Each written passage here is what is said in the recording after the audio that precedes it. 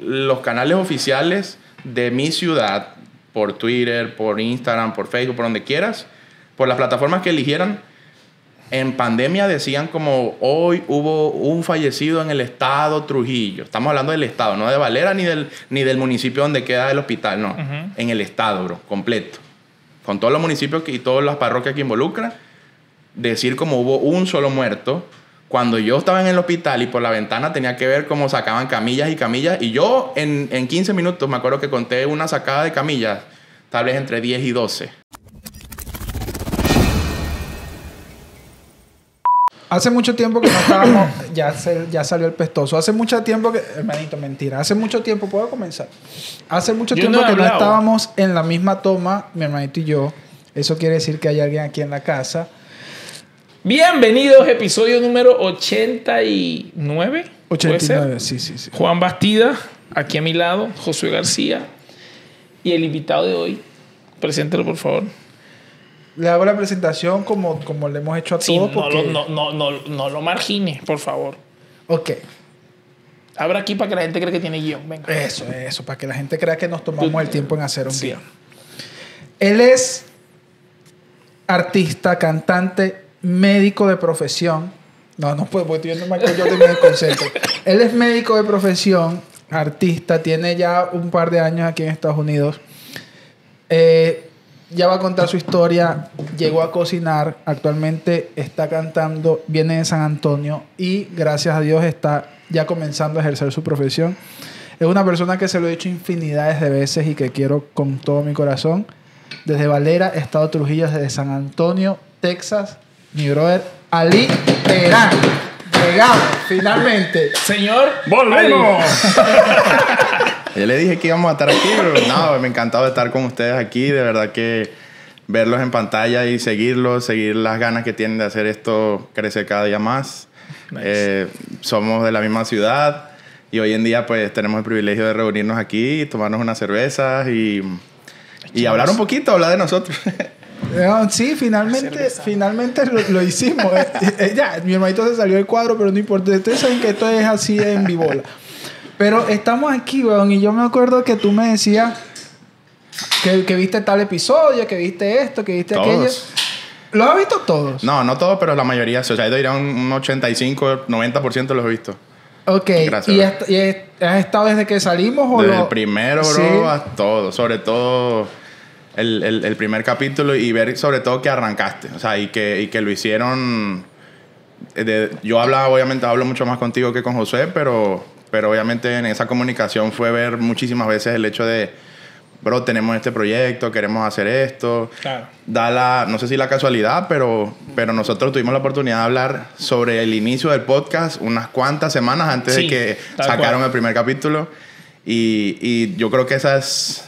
Voy a poner un poquito filosófico aquí, pero yo creo que esa es la diferencia entre muchas cosas que es decir y hacer. Claro.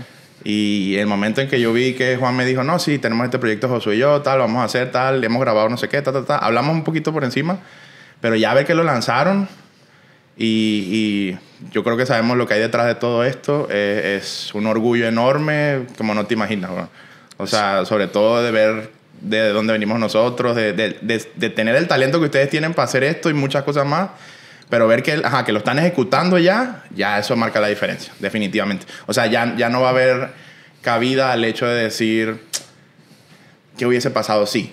Claro. ¿Sabes? No, no se van a quedar con la duda, bro. Y yo creo que a esta altura de la vida, siempre me lo has dicho tú, no estamos para arrepentimientos, hemos tomado decisiones mucho más difíciles, Sí. muchísimo más difíciles, como para que esto sea una cosa de que, ah, lo voy a hacer, pero no, aquí no cabe ya. Entonces yo creo que por eso me da mucha felicidad y me disfruto mucho los capítulos y, y hoy en día estar aquí, bro, imagínate, voy a salir yo a YouTube con mis amigos, o sea, que eso es lo más importante, ¿sabes? Como Claro. compartir este espacio y... Y que quede grabado, weón. Sí, que claro, que quede un registro de esto, bro, Nosotros ¿sabes? lo podamos ver y los hijos de nuestros hijos lo puedan ver. Sí, y, y que YouTube hasta ahora, no sabemos si mañana vienen los hackers y tumban la plataforma, pero hasta ahora tiende a ser perpetuo, si, po- si, Primero si lo sí. decimos así. Sí, si lo sigue, si sigue como va, ya lleva más de, va para 10, más de 10 años. Claro. 2012. Y, y está creciendo, o sea, no Sí. se ve una caída que uno diga, no, esto se, va, esto se ve que se va a acabar. Sí, sí. Pero sí, sí, ¿no? venimos de Valera, misteriosamente me pasó lo mismo que contigo. Mm, Nunca nos vimos en persona en Valera. Sí sabíamos, por lo menos yo sí sabía de ti, por- no me pasa como con José, que yo no sabía absolutamente nada de José, Claro. pero sí sabía que había un cantante, teníamos amigos en común, nunca coincidimos en ningún show, en ningún evento, pero sí estaba el nombre de Ali Terán en la calle. Entonces tú cantabas y, al- y alterno a eso ibas estudiando medicina. Sí. Entonces, yo tengo mi experiencia de esa pela que era trabajar y cantar. Mm. Pero ¿cómo hacías tú, weón, para poder llevar la carrera? Porque yo tengo una persona que quiero mucho, que es Luis Trejo, que ese Sí. dicho estudiaba... El día tiene 24 horas y ese mamá estudiaba 26. Entonces, ¿cómo hacías tú para estudiar la familia, las cosas personales Mm. y la carrera y la música? O sea, como que son muchas cosas. Claro. No, pues para comenzar, yo recuerdo que yo tomé la decisión de estudiar medicina teniendo dos pasiones en mi vida bien claras. Yo quería ser médico porque tuve la fortuna de crecer con familia en el área de la salud Ok.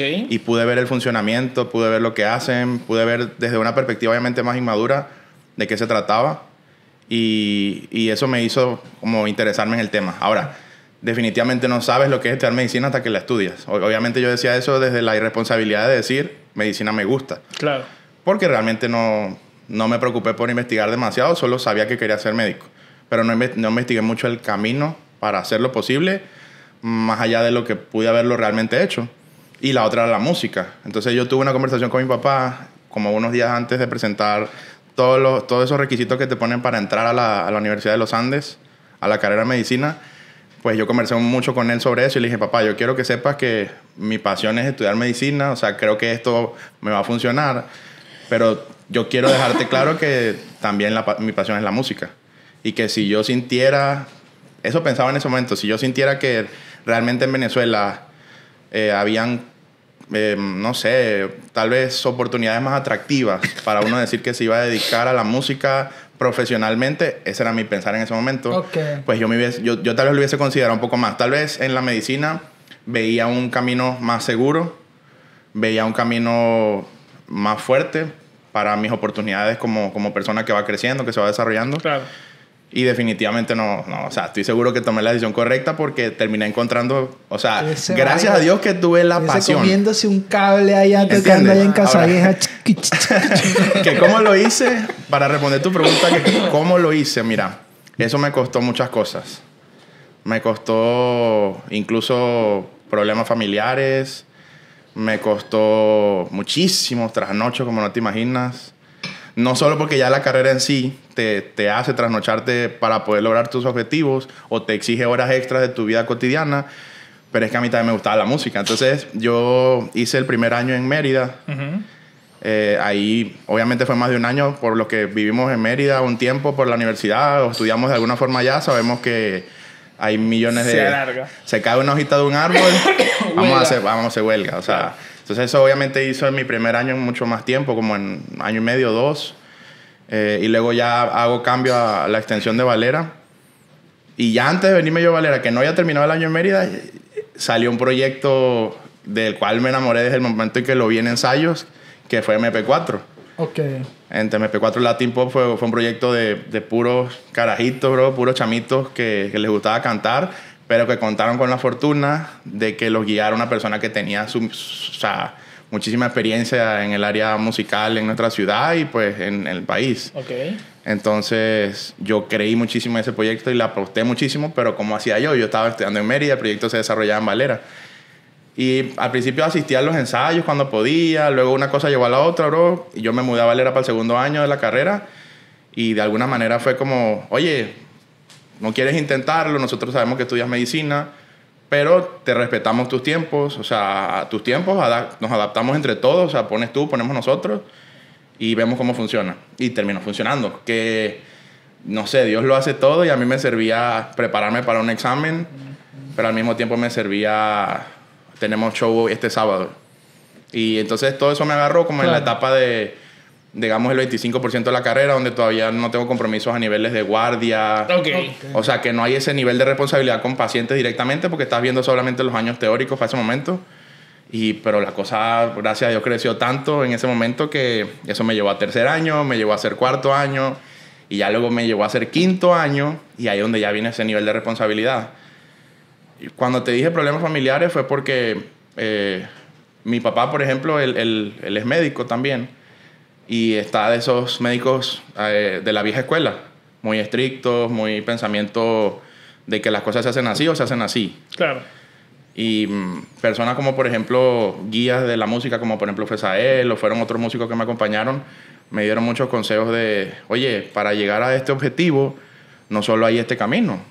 O sea, hay muchas opciones que te pueden hacer llegar al mismo objetivo y todo bien. O sea, Claro. a todos le puede funcionar un camino diferente y está bien, o sea, igual vas a llegar. Entonces, yo, me, yo creo que eso me caló bastante y, le, y creo que fue un reto con mi papá el hecho de, en su momento él lo tomaba como, bueno, vamos a Ah, dejarlo ah, que cante. Ahí, ahí voy, ahí voy. Pero, ¿cómo, ¿cómo le haces entender a tu papá que, o sea, yo lo conozco y, y- y conozco muchas personas que, que tienen esa manera de pensar que a ellos en un momento les funcionó y claro. es válido, Sí, pero que el mundo es muy cambiante. Sí. Y a lo mejor lo que a ellos les funcionó, no sé, hace 20, 25 años, ahora no. Y son, son seres humanos, son personas que tienen un sistema de creencias muy marcado, que Sí. lo hemos hablado un montón de veces. ¿Cómo se le hace entender a una persona con esa manera de pensar de que, coño, lo, déjame intentar lo que yo estoy seguro que va a funcionar? bueno, yo creo que con acciones. Ok. Más que Con hechos. con hechos, exacto. Esa es la palabra que estaba buscando, con hechos. Más que con palabras, porque mi papá, él entendía como esa dedicación que ella le daba a la música, más como un hecho de, vamos a dejarlo que, que lo haga, Que que juegue. que, juegue con eso, que se divierta, que ya él, él lo tomó como va a llegar un momento en la carrera que No se va a dar cuenta poder. que no va a poder con las dos cosas y él va a tomar la decisión y ya está. Pero resulta que pues eh, yo, yo no, la- o sea, afortunadamente yo podía, o sea, yo no estaba en ningún momento reprobando mis materias, o sea, tenía mis buenas calificaciones en la carrera de medicina. Y, bro, o sea, yo le decía, papá, pero entonces, ¿qué me reclamas? Igual estoy saliendo bien, no me está Claro. quedando ninguna materia y de paso estoy haciendo algo que también me gusta, o sea, que puedo llevar a las dos. Y recuerdo que todo explotó.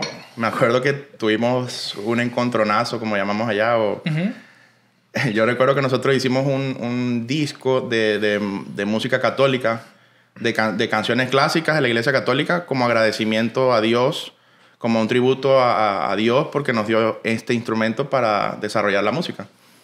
Y recuerdo que había una materia que a mí me parecía, la verdad, súper aburrida, de esas materias que en su momento yo entendía como una más. No, no es una más, es súper importante. Pero para ese momento no lo veía así. Anestesia. Anatomía. ¿Cómo agarrar una vena? una vía. Y resulta que, nada, bro, este, hubo una grabación a las 2, 3 de la tarde y la clase era solo una vez a la semana de 2 a 4. Pero el video se podía grabar, y íbamos a hacer una- un video en especial como de dos, tres canciones y se grababa a esa misma hora el miércoles. Y usted la clase la tenía el miércoles. Y yo la clase la tenía el miércoles a la misma hora. Eso. Afortunadamente, en ese momento era una, ese día solo había una clase más. No era que se iba a perder un examen o algo así. Y yo entiendo a mi papá, bro. Mi papá a mí me, me adora, bro. Toda la vida me ha demostrado su amor de, de millones de maneras. Y él solamente estaba preocupándose de que como que mi hijo no se descarrile el camino. Como que mi hijo, hey, mosca aquí. Pero pues él utilizó una forma para expresar, expresar esa preocupación bastante fuerte que nos hizo tener, o sea, fue una llamada telefónica diciéndome, ¿dónde estás tú? Y yo, no, estoy haciendo esto y esto y está, estoy aquí. Bueno, cuento tres y llevo dos para que esté en la casa. Algo así. Y era como, hey, o sea, ya yo tengo, en ese momento no sé qué edad tendría, unos veintitantos. O sea, que tú dirás, bueno, yo vivo bajo tu techo, respeto tus reglas, por Y sí. supuesto. Em, pero sí, fue un choque como que, hey, yo no le estoy faltando respeto a nadie, mis calificaciones las llevo todas bien. O sea, yo me lo tomé por ahí como, tranquilo, no estoy faltando un examen. O sea, Claro. yo sé a lo que falté. Pero él, como te digo, eso de la vieja escuela, pues para él eso representó una falta de respeto a la carrera de medicina. O sea, que de mi parte eso era una falta de respeto. Bro, eso para mí fue palabras duras, bro. Palabras duras de mi papá de tipo, dígame a qué se va a dedicar usted, acláremelo de una... O sea, sí, llegamos a ese punto de la conversación. Pero una cosa creo que llevó a la otra y al final yo le hice entender como, mira, yo te estoy demostrando con hechos que sí se puede. O sea, el día que tú veas que yo ya no voy a la universidad, empecé a raspar exámenes, yo le decía, usted tiene acceso a ver mis calificaciones porque mi papá se desempeña profesionalmente también en la universidad. Y entonces yo decía, tú tienes acceso a revisar mi perfil de estudiante, O sea, revísalo y te vas a dar cuenta que Claro. no, no, no, no tienes algo de qué preocuparte. Pero esa aquí suena muy bonito. Obviamente aquí lo estoy describiendo Exacto, desde la eh, madurez. eso, eso te quería preguntar, o sea, como que qué te llevó a tener esos cojones, weón? porque enfrentar a un padre de esa manera, Claro. a esa edad y con esa, con esa crianza, Sí. o sea, hay que apretarse y decir, verga, ya va, yo voy para adelante, pero ¿cómo lo trabajo? O sea, ¿cómo lo toreo? Sí, no, no, yo creo que no hay una fórmula exacta, pero bueno, yo tuve siempre el ejemplo de, de mis hermanas, que ellas utilizaron también su forma para hacer su vida, Claro. pero ellas siempre me dieron ese consejo como, hey, o sea, ya tú estás grande, toma tus decisiones y hazlas sin miedo a, lo que va a pasar siempre, o sea, no es como que por, por ese temor de ver qué va a pasar, entonces no das el paso. Y creo que eh, es algo en lo que trabajo todavía, o sea, en mi vida personal o, a mi, a- bueno, cómo se desenvuelve mi vida hoy en día, todavía sigo trabajando en muchas de esas cosas, pero tal vez ese momento no tienes, no tienes una fórmula para resolverlo, solo lo haces y ya. Y bueno, yo no utilicé una fórmula, yo solo enfrenté a mi papá desde obviamente de la mejor manera que encontré y también suena como, ah, lo enfrenté, tampoco es que, no, no, no era una guerra por el estilo, pero sí era un choque, definitivamente. Fue un choque como, como tal vez muchos hijos han tenido con sus papás. En y algún punto en de la algún vida. punto de la vida. Ah. Y bueno, yo tenía la fortuna y tengo la fortuna, gracias a Dios, de que mi mamá también me apoyó muchísimo. O sea, mi mamá ha sido una mamá que me apoyó desde otro punto de vista con la música. O sea, ella era, mi hijo va a cantar, mi hijo va a cantar. O sea, todo el mundo entérese que mi hijo va a Ok, cantar. O sea, ese era como que la- La el contraste. Sí, era- eran polos así, bro.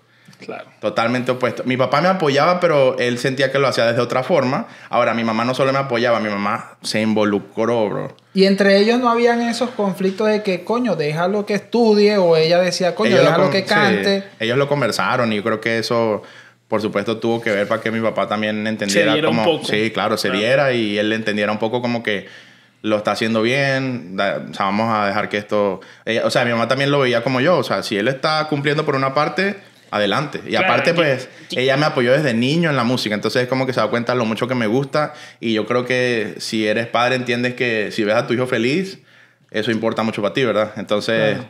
yo creo que se debió haber sido por ahí. Claro, porque si no, si su, la- si su mamá quizá hubiese estado del lado de su papá, se le hace más cuesta arriba. Por supuesto. Claro. desde hacer Por la supuesto. carrera hasta Sí, hacer la, la- claro. la carrera de cantante también. Sí, sí. Eh, eh, influía la parte económica, que tú decías, verga, ya va, yo no puedo dejar de cantar porque con eso yo estoy comprando tres harinas y dos kilos de queso. Claro. Por, por ese lado también, obviamente, me ayudó muchísimo porque tú lo sabes porque lo hiciste también, que si tenías trabajo constante, obviamente como que le veías un poquito, el- o, o le veías mucho tal vez el queso a la tostada, dependiendo pues de las circunstancias.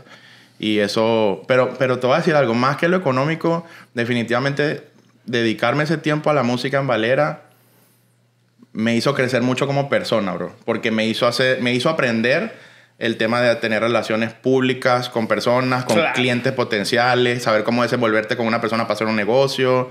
O sea, me hizo crecer en demasiadas cosas y no solo fue al nivel musical de que tú digas, ah, bueno, ya sabe desenvolverse en una tarima de tantas personas. No, no, no. O sea, Claro. crecí mucho en eso también porque no lo había vivido antes a ese nivel. Eh, y definitivamente hicimos cosas que yo considero únicas en unos muchachos que estaban empezando de cero allá. Y luego, pero me sirvió mucho para crecer como, como persona, como adulto. bro. A Claro, veces- a para vemos desarrollar en la la parte, calle. la- ¿sabes? desarrollar ese, ese, ese engagement como personal con público o con, Sí, sí, sí. con personas que quizás el día de mañana van a, a- a hacer un, un, un- va a hacer un negocio con ellos. Claro, en ese momento lo hacía ahí, ahora está aquí y te das Claro. cuenta de que verga, De aquel no, viejo de, de, de tal lugar, iba a decir un lugar, aquel aquel el mambo, aquel el mambo, de aquel viejo de que, que no quería tal cosa o que tuvimos que decirle, mire, podemos hacer este negocio para este 15 años. Son Claro. cosas que uno al principio nunca lo ve hasta que uno tiene que sacar la vieja confiable y acordarse cuando uno estuvo en esa posición. Sí, Esa es la experiencia que ahora uno le ayuda. O sea, podemos Sí. decir que entonces en esa parte MP4 fue como que tu escuela, tu Sin- principal escuela. y duda. cantaste con alguien más. Eh, anteriormente a eso, no como un grupo, pero también tuve una fortuna que yo digo, bueno, es que yo tenía muchos ángeles en el camino, bro. Yo tuve de profesor en el kinder, o sea, cuando yo tenía unos 4, 5, 6 años, a Carlos Borrero. Ah, Carlos Borrero, yo lo conozco. Él fue, mi, él fue mi primer profesor de música, digamos, como para, para cantar. Él, él era el profesor de música donde yo me estudié el kinder. Donde lo estudió en Platado. No, yo lo estudié en un lugar que quedaba, se llamaba La Fresita, bro. Quedaba por un colegio Mira, ¿tú te acuerdas de cada República antes? El, sí, el primer República. El primer República arriba. Ajá, tú sabes que República tenía Ah, la por detrás. Sí, ya sé cuál Tú es. te acercabas un poquito más allá por esa misma callecita y había una casa que era un kinder y se llamaba La Fresita y pues ahí estudiamos mis hermanas y yo y... Mira. Este episodio se llama Literal en la fresita. Sí, bro, pero, pero sí, ahí estudiamos y Carlos Borrero era el profesor en esa, en esa escuela, en ese colegio y, y bueno, ya después yo me gradué de kinder, me voy a República a estudiar todo mi, mi primaria, mi bachillerato y con Carlos, eh, pues chao pues, o sea, fue solamente mi profesor en ese momento hasta que cuando tuve como unos 14, 15 años, volvimos a acercarnos con Carlos porque yo iba a cumplir años y quisimos organizar una fiesta para celebrar mi, mi, mi cumpleaños. Y quisimos poner un grupo de música en vivo y tal. Ok. Y la persona que realmente conocíamos en ese mundo, recuerdo, pues fue Carlos. Y Carlos eh, cantaba en la iglesia Santa Catalina de Siena y en Plata 2. Eh, mi mamá lo conocía, mi abuela lo conocía. Él, él, se, él se crió ahí también. Y mi abuela vive en Plata 2 también. Ah. Entonces, eh, esa fue la cercanía que tuvimos de, ok, es de la misma zona. Y yo canté con él en la iglesia también, ahí en, en, en- en Plata 2. Y, y luego con- lo contactamos, pero de alguna forma u otra, yo creo que no, o sea, eso fue como un, un abreboca de que Carlos dijo, bueno, eh, tal vez Ali le quiere poner ganas a esto, quiere echarle bolas, tal. Y me, me invitó como a par de shows que él tuvo en... en- hay, hay una discoteca en Valera que yo creo que tiene como una maldición, bro, porque ahí han pasado 14 mil millones de dueños, pero como que no le ¿Cuál, no, no cuál, termina cuál? de... City, la que está. Ajá, sí. que ha tenido La que 400 está al nombres, lado bro. de- la que está al lado de la pérgola. Al lado de los chinos, Ajá. el diamante. Ah, Exacto. claro. Ha tenido, bro, 2300. Esa, cuando 800 salió esa, dueños. el, Sí, profesor sí, sí. que estudia- me daba clase de diseño la, la diseñó cuando era Whole City. Ah, y imagínate. para adelante no. City, claro. Bro, ahí han pasado millones de administraciones Tabuta, y... no sé qué coño. Ha tenido Ay, millones de este nombres. episodio es para pura gente valera. De Valera, sí. Pero yo, yo te quiero preguntar algo. Ajá. Muy- no, ya está vacía. Muy bonito todo. Se gra- este, estudia MP4, platica por aquí, platica por allá. Sí. Los viejos lo aceptaron. Usted termina de estudiar. Pero yo ya estaba en ese último, en esa última parte de su carrera, porque ya nos conocíamos. ¿Y cómo, Ah, se, cómo se trabaja esa parte de que yo me voy a graduar? Pero como quiera yo me gradúo y me voy para el coño. O sea, ¿e- ¿en qué parte entra de que el denominador común es me gradúo, busco un trabajo en el hospital, me meto ahí, mi papá, gracias a Dios, puede tener contactos que... Pero no, usted lo que quería era graduarse y irse para el coño y bueno, por esa razón estamos aquí. Sí. Pero ¿cómo se trabaja esa parte? Porque es muy raro que en una carrera tan pesada, manico, si usted me dice, no sé, estoy estudiando hotelería, Hotelería, que es una carrera que puede desempeñar por fuera. Sí. O una carrera que usted diga, no, marico, así yo haga lo que haga, yo no voy a ganar más de 5 dólares al mes. Ujú. Pero una carrera que, que En te hace... medicina no, no está muy lejos de, de No, eso. pero, pero se, pero En se suda más. pues. Pero se Ah, suda más. bueno. Claro, por el tiempo, O sea, que, por el tiempo que, que toma y por el sacrificio Entonces, que toma. Pues ¿cómo, de cómo yo trabajo una carrera que es tan sacrificada para irme? Mira, no considero que haya una respuesta correcta para eso, porque es demasiado personal. O sea, es el, es el trayecto y el camino que cada uno decida trazarse. En mi caso, pues mi familia había emigrado a Estados Unidos antes que yo. Y mm, tengo la fortuna de que mis hermanas decidieron emigrar y hacer su vida en la misma ciudad. Ok. Entonces, de por sí eso representó un gran apoyo para mí y para mi familia. El hecho de que también ellas se acompañaran, estuviesen en el mismo lugar, ok. Entonces, cuando se acercaba la época en la que todo parecía como que, ok, quinto año, sexto año, viene la pandemia. Pero para nadie es un secreto que la condición en Venezuela nos afectó a todos, por eso estamos aquí. Y yo llegué a un punto en el que vi como que, ok, mi mamá, bendito Dios, tiene su trabajo, mi papá también, pero definitivamente nos empezamos a dar cuenta que no, no alcanzaba, bro. Claro. No alcanzaba y, y empezamos a ocupar la ayuda de mi familia de aquí, que nos enviaran obviamente las remesas o nos enviaran la, la ayuda que ellos pudieran, que eso nos hacía como el camino un poquito más en paz. Entonces tú, tú, te empiezas a cuestionar como, como hombre, como una persona que sueña algún día ser cabeza de hogar, como una persona que quiere crecer. Tú dices, bueno, o sea, yo puedo ser muy médico lo que tú quieras, pero ¿a qué voy a aspirar yo con el sueldo de médico? Fue, fueron muchos aspectos que, que me hicieron tomar la decisión versus, ok, voy a hacer un posgrado, Ujú. ok, le voy a dedicar más. Sencillamente fue el hecho de que ver cómo gente se humillaba para que pudiera echar gasolina. Yo tuve que ver que mi mamá hablaba con un militar para que le diera chance de, de- de echar gasolina porque ese día llegaba a surtir la, como la La- gandola la- a la, a la bomba. Pero, bro, o sea, a eso me pareció tan humillante y tan denigrante. Y yo decía, no, bro, o sea, ya estoy Como que harto, yo tengo que bro". hacer algo Claro. esto, para cambiar y, esto. Y también, y también el hecho de que yo vi mucho en el hospital. Y aquí pues el hospital ha sido una gran bendición para mi vida porque realmente me enseñó como, como profesional, o sea, me dio eso. Pero el sistema de salud en Venezuela definitivamente está en 1980. Claro. O sea, todo está muy atrasado a lo que debería ser una carrera como la medicina, que la tecnología, así que imagínense ustedes si la tecnología en otros ámbitos, o sea, hace tantas cosas increíbles, en la salud no es la, no es la excepción. Claro. Entonces nosotros, lamentablemente, nuestro sistema de salud en el país, no, no digo solo en nuestro hospital, en el Pedro Emilio Carrillo, sino en el país, está súper atrasado. Y hay gente echándole, bro, con las uñas para todavía hacer eh, de la medicina lo mejor que pueda. Hay cracks, bro, hay cráneos. Yo tuve compañeros y profesores arrechísimos que, que son una eminencia. Y lamentablemente yo los veo limitados a ejercer la carrera, pero aún así le siguen echando. Y entonces, claro, yo, de- yo decía, a mí no me sirve mucho ser muy, muy doctora literán, eh, pero vivir en esas condiciones. O sea, vivir en las condiciones de tener que todo es una palanca. Yo odio eso, bro. Los canales oficiales de mi ciudad, por Twitter, por Instagram, por Facebook, por donde quieras, por las plataformas que eligieran, en pandemia decían como hoy hubo un fallecido en el estado Trujillo. Estamos hablando del estado, no de Valera ni del, ni del municipio donde queda el hospital, no. En el estado, bro, completo. Con todos los municipios y todas las parroquias que involucra, decir como hubo un solo muerto.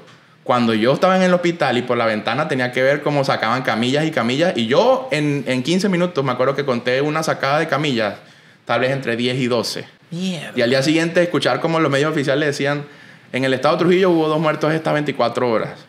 Yo entiendo que la pandemia fue un desastre a nivel mundial, bro, y nadie estaba preparado para eso. Pero me parece una irresponsabilidad del tamaño más grande que te puedas imaginar porque estamos hablando de salud, bro. Hay un tema de, de, de la carrera de ustedes, de la medicina, que es un tema de ética y de valores y de principios de yo no sé qué coño, de Aristóteles y de la verga. Mm. Pero ya tú lo dijiste, en Venezuela hay mucha burocracia desde hace un montón Sí. de años y hay mucho de que llegó el hijo de tal De co- fulano. de fulano de tal, Sí. pásenlo primero y llegó un malandro con dos tiros en la pierna, déjelo morir. Eso ha pasado durante muchos años en Venezuela. Do- en esa situación de que llega el malandro con dos tiros en la pierna, déjelo morir, ¿cómo se trabaja ese tema de ética, weón?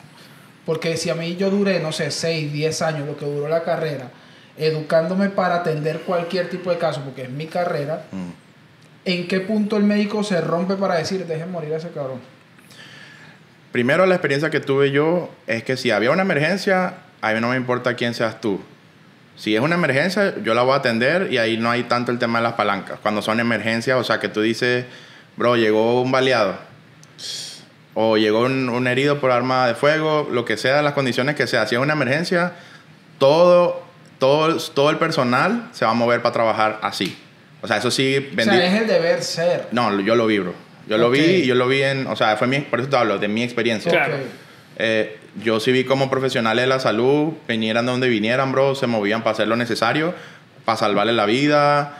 Eh, ahora, si tú me preguntas dónde vi yo esos niveles de, de- de- yo lo diría, de irresponsabilidad, em, yo lo vi en áreas como, como el hecho de que, ok, nuestro laboratorio en el hospital no funciona, entonces todo lo tiene que, que conseguir el paciente por fuera, Ok. porque en el hospital no tienen los recursos para hacer las cosas, el mismo cuento de siempre. Y me atrevo a decir que es de siempre porque mi papá fue director en dos periodos eh, en, en- en- el hospital Pedro Emilio y siempre hubo necesidad, pero no se compara a esto. Por eso tengo con qué decirlo. Entonces era más burocracia en tema de, de insumos, todo era un chanchullo, bro. Eh, y algún momento eso explotaba, despedían a no sé quién porque fue el irresponsable que estaba a cargo de, de- de esa cosa y boom. O no, yo me la llevo bien con la enfermera tal, o me la llevo bien con el camillero tal y por eso se mueve. O sea, era más de ese tipo. O sea, realmente, pero créeme que cuando era una emergencia, bro, yo no tengo dudas de que el personal en el día que fuera, la guardia que fuera, se iba a mover a toda costa para hacer su trabajo. O sea, eso sí, de verdad que tuve la fortuna de que sí, eso sí, O sea, po- sí trabaja bien, que- pues. que- o sea, aquí no hay un tema de que tú me digas, weón, yo vi cómo dejaron morir a alguien. Por lo menos en el tiempo que deja que Morir no, bro. eh, o sea, no, no, morir yo no. Yo creo que en personal bastante. En ese sentido sí fue muy responsable. Pero a- a- cuando te digo lo de la responsabilidad con el tema de los insumos, es porque pues la calidad de salud no se, no se brinda de la manera adecuada. Entonces tenemos la fortuna de que nuestra universidad, bro, imparte muy buena educación, o sea, de primer nivel, y eso lo puedo contrastar yo hoy en día aquí en Estados Unidos Ok. teniendo conversaciones con personal de salud aquí y decir, yo vengo del Pedro Emilio Carrillo y yo sé de qué me estás hablando, así sean idiomas diferentes, te- tú te puedes eh, dar el lujo de tener conversaciones sobre medicina con gente que estudió aquí y, bro, estamos ahí, ok, ¿sabes? Yo vengo de Valera, de la Universidad de los Andes y yo hablo aquí con, con médicos y, ok, vamos a hablar pues de medicina, ¿entiendes? Nosotros tuvimos una situación cuando muere mi papá. A mí me llaman, Luis llega a la casa con Francisco, la historia. Nos vamos hasta la morgue a buscar a mi papá. Resulta que en ese momento, año 2014, la morgue está en remodelación. Imagínate. Y obviamente no teníamos dónde encontrarlo, porque se supone que si tú vas a buscar un cadáver, al primer sitio que vas es a la morgue. Claro. Pero en medio del desespero, de la crisis, ¿dónde está mi papá? ¿Y dónde está mi papá? ¿Dónde está mi papá? Llega una vecina de mi papá y me dicen, su papá está ya en un ascensor. Nosotros nos vamos al ascensor. Los que son de Valera saben un ascensor, y tú, mamá, huevo, yo sé que más que nadie lo debe saber, un ascensor abandonado que está por el lado de donde sacan los certificados de salud. Eh, yo llego, veo la, ya de lejos, mamá, huevo, un, un ascensor literalmente abandonado, oxidado, que quién sabe cuántos años tenía eso ahí. Yo de lejos veo la camilla y yo digo, ok, allá hay alguien. Me acerco, hay un cuerpo tapado y está mi papá sin franela, con las manos metidas como dentro del short. Me imagino, supongo que el mamacuevo que lo dejó ahí, como para que no le colgaran. En ese tiempo estaba mi querido llamado Ricardo Torres en todo el tema de la dirección del hospital. No era director, obviamente, pero estaba ya como que más, más involucrado. Y yo lo primero que pienso es, hablo con, con Luis. Y le digo, yo necesito el número del director del hospital. Obviamente, yo, yo en ese momento estaba muy caliente. Claro. Mi papá acaba de morir, un montón de emociones. Yo voy a matar a ese cabrón.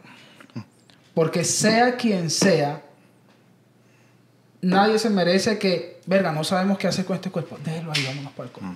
Porque así lo vi yo y así lo sentí yo. Claro. Verga, ¿qué hacemos con este señor? Ay, déjelo ahí, tápelo y vámonos. Mm. Llega el papá de Luis, me agarra, me hace reaccionar, me agarra la cara y me dice, Juan, ya no hay nada que hacer. O sea, ya a partir de ahora, y yo no voy a dejar que te jodas la vida. Porque mi reacción era, yo necesito tener al director del hospital enfrente y meterle dos coñazos. ¿Qué pasa ahí, weón? O sea, ¿qué tipo de escrúpulos hay que tener como ser humano? Sea quien sea, camillero, enfermero, para agarrar un cuerpo y dejarlo. Mamá, weón, no sabemos qué hacer. Déjenlo ahí y ábrase que nadie va a saber que fuimos nosotros. Como profesional, entre comillas, ¿qué tipo de, de sentimiento hay o puede haber, tú que estás más metido en ese tema, dentro de esa persona? Y como director, ¿qué puede pensar el supuesto director del hospital en ese momento? O sea, ¿cómo lo ves tú? Claro, mira, eh, lamento mucho que, o sea, es una experiencia demasiado dura y pues gracias por compartirla aquí porque yo sé que no es fácil abrirte a hablar de esto y no es una conversación privada. Claro. Este, pero yo creo que eso van los valores de una persona, bro. Eh, por mucho que yo te pueda decir aquí la manera correcta en la que alguien tiene que actuar en el hospital o no, yo creo que es una consecuencia de cómo se ve de afectado el funcionamiento de de- del sistema de salud en Venezuela. Consecuencia de muchas cosas. Consecuencia de, de lo que tú quieras ponerle de nombre.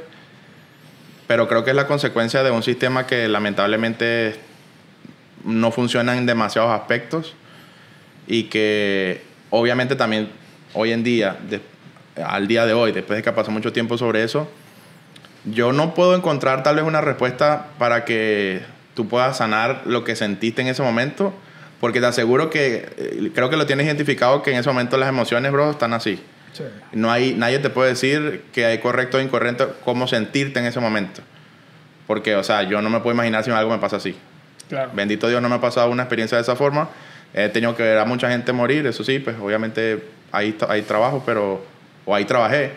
Pero yo creo que lamentablemente es una consecuencia del sistema que te ha tocado ver una experiencia tan dura como esa con tu papá. O sea, sin duda, o sea, el, el momento en el cómo trasladan a, a la persona que fallece, por dónde lo pasan, dónde debería estar el familiar, dónde no debería estar el familiar. Porque eso tiene sus razones y sus porqués. O sea, yo no puedo decirle a un familiar que, que el paciente falleció y tenerlo en áreas donde el, paciente, el, el familiar no debe estar. Claro. ¿Entiendes? No estoy diciendo si debiste estar ahí o no, porque, pues, lamentablemente allá, como te digo, el sistema está tan malo, bro, que el hospital tiene acceso por lugares donde no debería.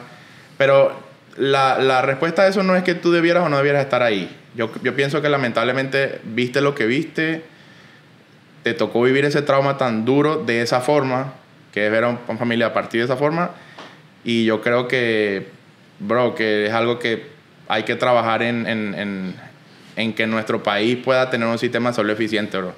Porque dime tú si nos ponemos a buscar culpables. Si eso sirviera de algo, porque al día de hoy creo que eh, pues ya no es el caso. Pero ¿quién es el culpable de que ese ascensor no sirva? O que el hospital esté en las condiciones que esté. O que a los pacientes los trasladen de esa forma. O que tú digas, ¿cómo incentivas tú que una persona quiera trabajar de una manera más eficiente con sistema, como, como, con, con la economía que tenemos? ¿O qué, qué tantas ganas tengo yo de trabajar en el hospital con las condiciones en las que está? ¿Qué condiciones de trabajo le ofreces tú a una persona para que se incentive a hacerlo mejor? Eh, ¿Por qué lo trasladaron por allí? No, y que estamos Porque- hablando de, de, de- O sea, eso puede aplicar en cualquier rubro. Sí. Lo que estás diciendo prácticamente puede aplicar en cualquier rubro, en la escuela, pero estamos hablando que es el sistema de salud de una ciudad que, que, que como quieras, por más que, por más que la situación esté difícil, son personas que tienen que lidiar con los problemas de la vida, de la ciudad, de, de la situación país, más aunado, tienen que lidiar con trabajar con las uñas en áreas que de verdad no se está jugando. Ay, no es, una, no, es un, no es un supermercado, no es una escuela que usted ve lo- el carajito seis horas, lo despachó. No, o sea, estamos hablando de, de vidas de personas que o que por lo menos ya personas que ya no están con nosotros para darle el, el respeto que se merece. Exactamente. O sea, es muy, muy complicada la Sí. situación y, y, y eh, trabajar de esa manera debe ser Eh, la eh, cosa más... o sea, si ya Sí. de por sí es complicado lidiar con ese día a día de, de la gente, de, de las emergencias, eh, debe ser muy cabillero.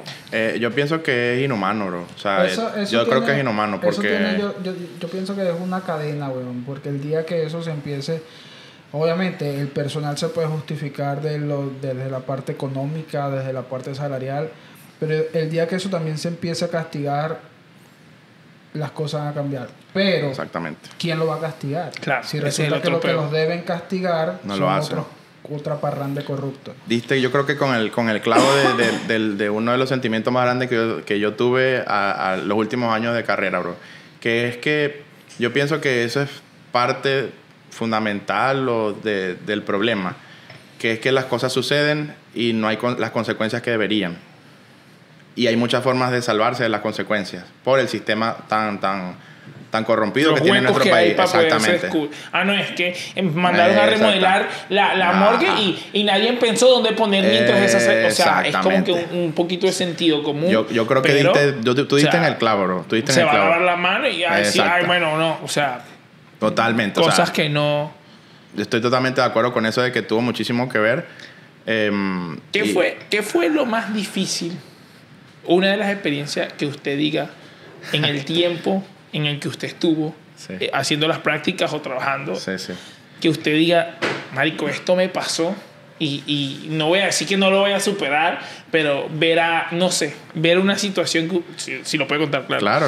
Que usted diga, Marico, yo pasé tres días soñando con, con Sí. esa, esa, esa- esa situación. Sí, la tengo súper ubicada porque fue algo que me costó muchísimo y, y fue durísimo, bro. O sea, fue muy, muy duro vivir esa experiencia. Y te voy a explicar, por, te voy a explicar por qué, bro. Porque la universidad no te prepara para esa parte. Y fue algo que yo discutí con muchísimos de mis compañeros, con residentes, con especialistas en el hospital. Y eso, para esto que les voy a contar, no te prepara la carrera de medicina en, en teoría. O sea, no te dan una clase que te dicen, oye, cuando te pase esta experiencia súper fuerte a nivel emocional, vas a reaccionar de esta forma, lo vas a tomar así, lo vas a lidiar de esta forma. Eso no te lo enseña en, en un libro. Bueno, al menos yo no recibí esa lección. Y bueno, muchos de mis compañeros tampoco. Entre muchas cosas que viví de ese nivel, les puedo contar una que fue cuando yo estaba haciendo rotación por emergencia de adultos. Eh, llegó una señora con un niño grande, bro. O sea, en ese momento cuando yo apenas lo vi, no, no podía determinar la edad, pero definitivamente estaba en, esa, en ese límite de, ok, lo traes por emergencia de adultos, pero eso tiene criterios de edades. Claro. Es decir, hasta cierta edad lo atendemos por pediatría, por los niños, y, hasta- y de ahí para arriba, vámonos para emergencia de adultos. Llega una señora que estacionó su camioneta donde, donde pudo, se bajó pegando gritos con otra niña y traían un niño en brazos, pero un niño, como te digo, ya estaba al- a- alto, pues. Y lo traían, bro, así cargado. Y en la emergencia de adultos lo pusieron encima de una mesa como esta, que era el escritorio. Lo pusieron ahí, bro. Y eh, ¿qué edad tiene el paciente? Fue lo que me acuerdo que preguntaron de una vez. Tiene 14. Entonces, ¿Ahí como entra que como adulto o no? entra a pediatría todavía. O sea, está en, el, está en ese punto de... de- En la línea. ¿Hasta está en, el, entra está en la línea, bro. O sea, desde un neonato que tiene días de nacido hasta los 14 años. Oh. O algunos te pueden decir hasta los 13 años con 11 meses, eso pertenece a pediatría. Ok, ¿Entiendes? Pero esa- está en el borderline. sí. Entonces, como se supone que lo tiene que atender pediatría, pero es un muchacho ya con tamaño que, que, que, bueno, que digamos que a nivel legal representa eh, eh, pediatría, pero lo trajiste por aquí. Claro, claro. Es más fácil correr y avisarle a los de pediatría que se trasladen hasta aquí ¿Qué llevará al que llevar al muchacho para allá, que no sabemos en qué condiciones llegó. Apenas lo vamos a examinar. Bro, eh, lamentablemente el, el muchacho llegó sin signos vitales. Puta madre. Y mira, lo, lo que lo, lo más curioso de todo fue que, mira, la señora que lo traía en brazos era su mamá. Era una intensivista, médico intensivista. Ella. Ella. La- yo no sabía porque no la conocía, me enteré como ahí en el momento. O sea, la señora estamos hablando que ella es médico intensivista. Eh, yo no lo sabía, así que para ese momento su mamá. O sea, Claro. ese era- ese era- y es lo que era, su mamá.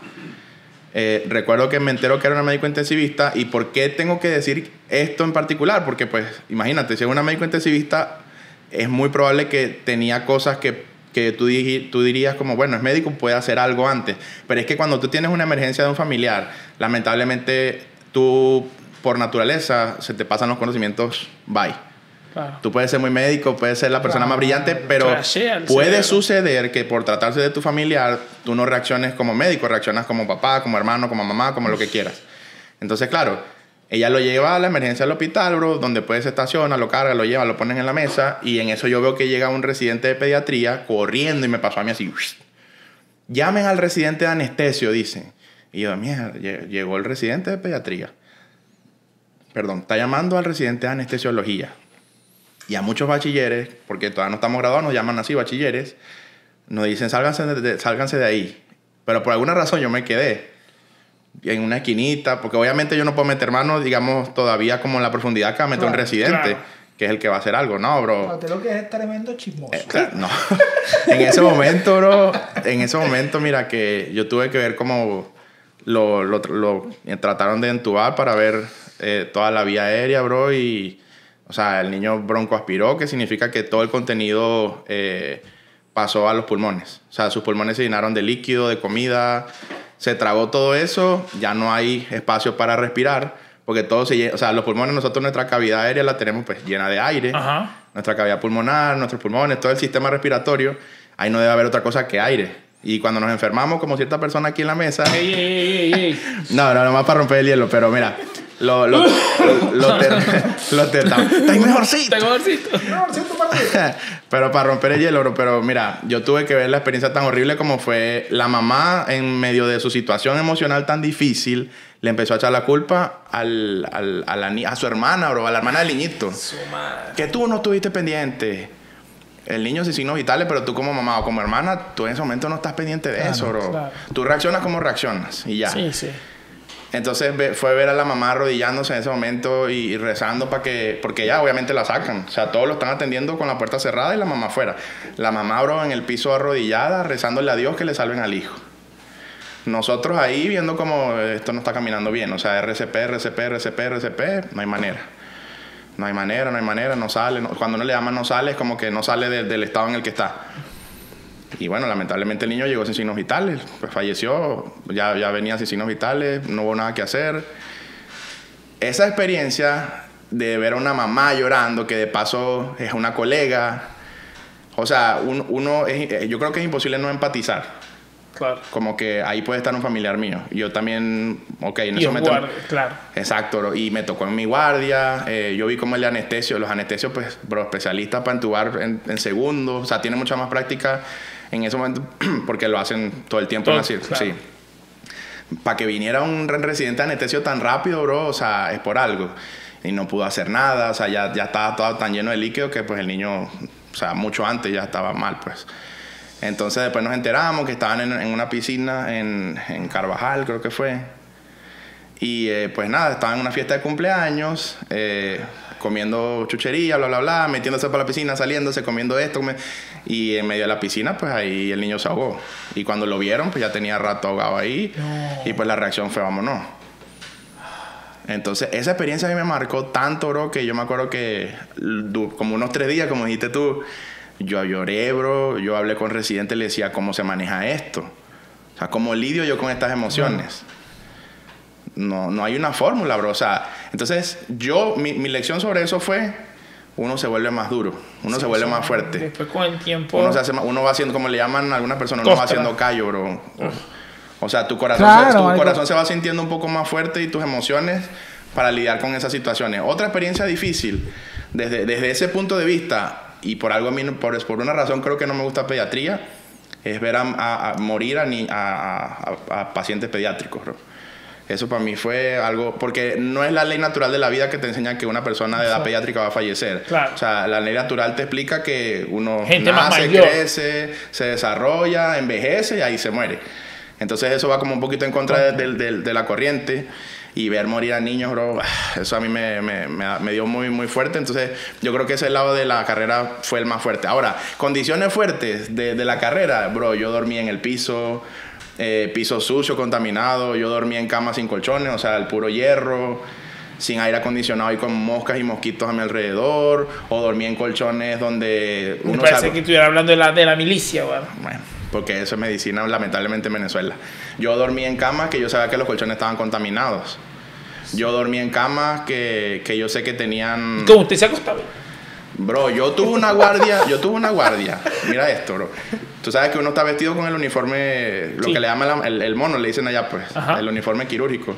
Nosotros vamos de guardia así. Me acuerdo que hubo una guardia, bro, que yo me acosté a dormir como a las 11 porque la, la guardia estaba tranquila, nos dieron oportunidad de dormir, nos dieron permiso. Vamos a dormir unas cuantas horas.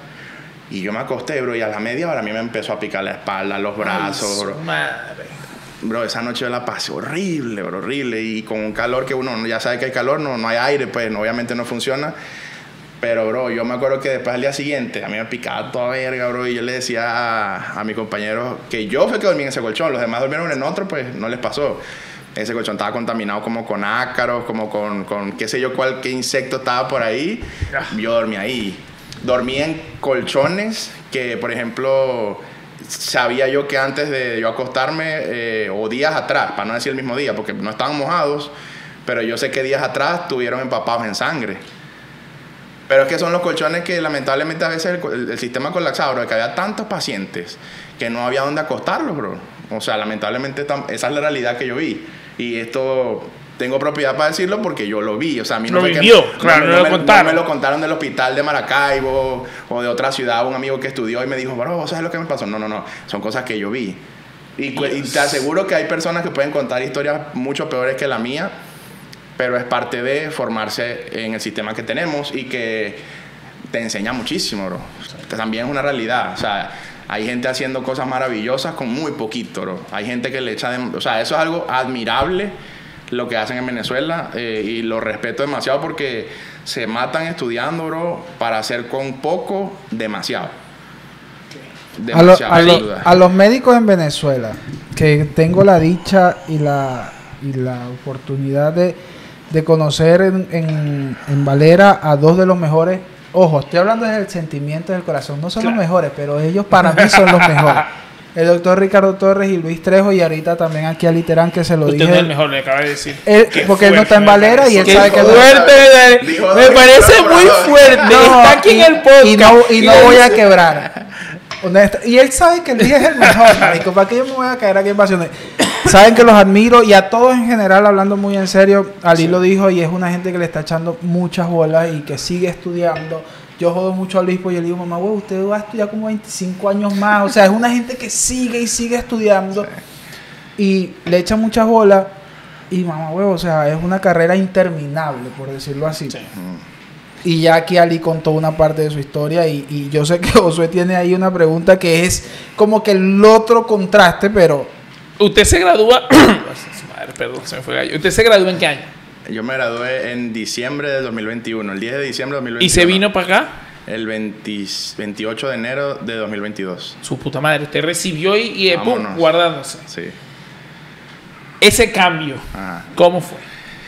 Súper drástico, bro. Porque yo llegué a Estados Unidos y la vida da demasiadas vueltas, como a todos ustedes les pasó. Yo llegué a Estados Unidos en, en- en enero, a finales, con un frío del que ni te imaginas, pleno invierno. Sí, ¿a dónde fue? Porque acá no. Sí, sí, claro. no, y te acuerdas que cuando él llegó abrimos el negocio y ese día literal trabajamos todo el día con suéter. Ah, Con suéter, es verdad. Es Sí, o verdad. sea, bueno, aquí yo sé que no pega tan fuerte, pero eh, donde viven mis hermanas eh, y donde vivo yo, sí se siente un poco el frío. De- sí, el frío se siente mucho más. Claro. Entonces, mira, para no hacerle el cuento muy largo, eh, yo llegué allá con la esperanza de poder conseguir trabajo rápido en el área de la salud. Ok. Por la sencilla razón de que yo, todo el mundo hablaba de que aquí hay mucha demanda, de, o sea, hay necesidad, hay, de- hay muy poquito personal médico y hay demasiada atención pendiente, o sea, hay muchísimos pacientes y están necesitando. O sea, un rubro en Estados Unidos que está muy afectado por eso, no hay suficiente personal de salud. Ok. Entonces yo dije, no, eso... Coroné. Sí, bueno, claro, recién, recién graduadito, no, vamos, yo voy a conseguir trabajo. ya, ya triunfar. Voy a conseguir trabajo rapidito, así sea en una clínica, lo que sea, como asistente médico, como lo que quiera. Este, pero me encuentro con la realidad y fíjate, lo, lo- lo- tal vez lo desagradecido, pero en su momento yo decía que Diosito no me manda a trabajar en un restaurante. No. ¿Y cómo es que usted dice? Tenga. Tenga. Tenga para que lleve. Que Diosito no me haga a mí este, trabajar en otra cosa, que no me tenga aquí para la construcción, que no me toque hacer más nada.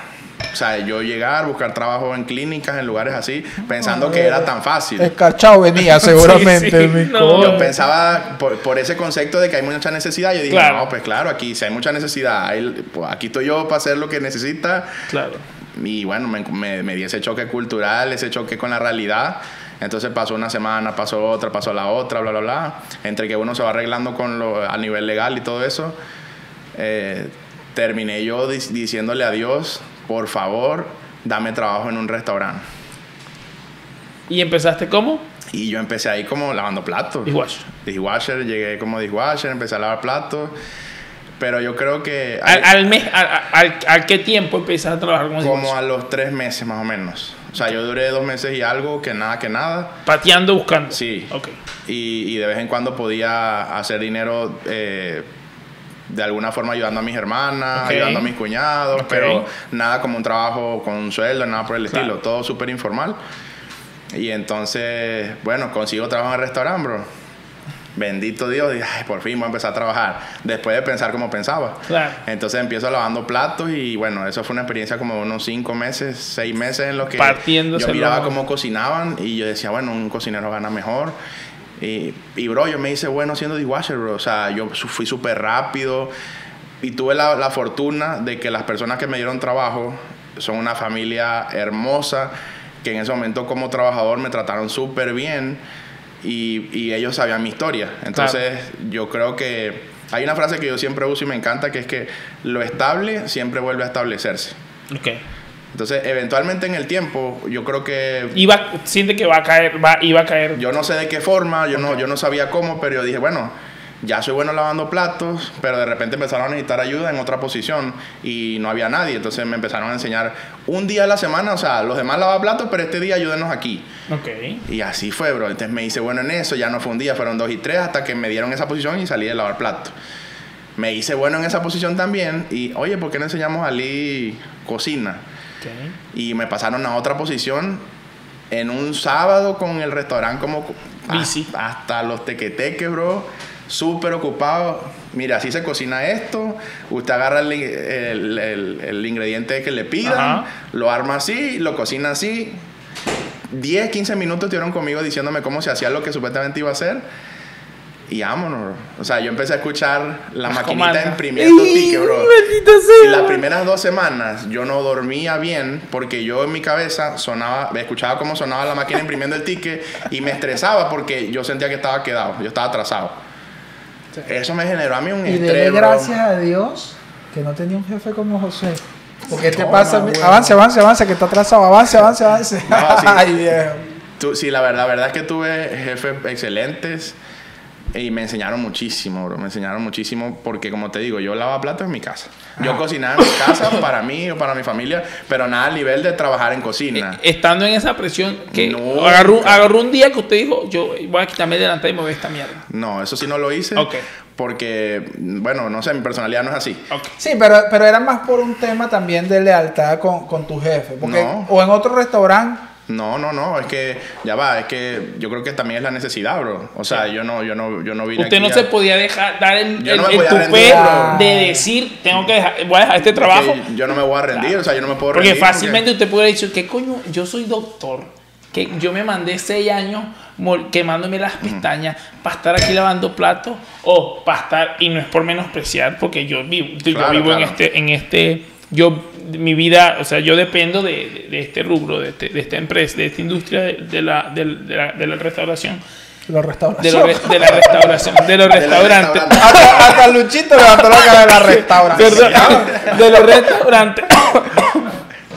que yo, o sea, yo sé que a veces. Se rascó con. Entiende No, yo, de yo- por eso, yo entiendo muy bien, pero tampoco es, es muy difícil que alguien que pasó por tanto y que se jodió por tanto y ahora está así, es, Mm. es muy difícil que de no, no haya pensado en decir, Marico, me devuelvo porque esto no fue para lo que yo estudié. Claro. O sea, hay una cosa de ego y de, y de, y de mm, como, Sí, como de propio de actitud. uno, de actitud, Claro. de no ceder a eso. Yo creo que la palabra es actitud. O sea, yo creo que eso es lo que puede marcar la diferencia en, en qué hacer.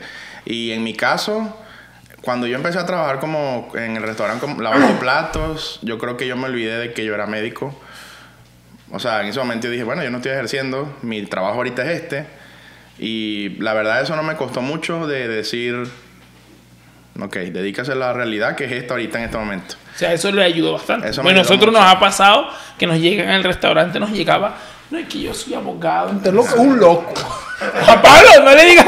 Pero marico, la gente llegaba y decía y miraba así, ay, yo tengo que limpiar eso. Ay, no, pero es que No, yo-". eso sí Y no. uno No. le escuchaba hablando, Pero- yo tengo tres carros y yo.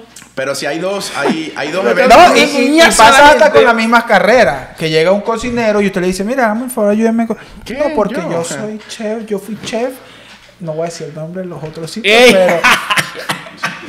Pero no voy a decir eso. No, hay dos eventos en particular que sí me, sí me, me tocaron bastante a nivel emocional. ¿En dónde? En, En, en- el en restaurante. restaurante. Sí, sí.